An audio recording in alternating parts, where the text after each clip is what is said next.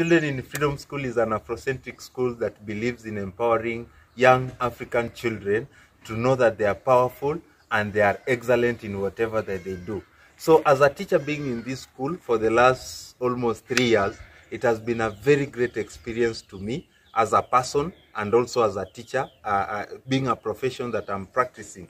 It has given me an opportunity to know that I'm also great, I'm powerful. It has also empowered me. It has improved my teaching skills, not just um, being a 19th century teacher. It has also motivated me to become a 21st century teacher to uh, so that I'm able to uh, uh, put together technology and learning.